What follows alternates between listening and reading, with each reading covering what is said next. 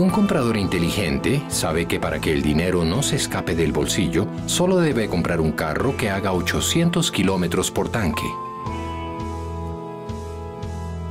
Así que visita los concesionarios Chevrolet y llévate un Sale Hatchback pagando cuotas mensuales desde 282 mil pesos.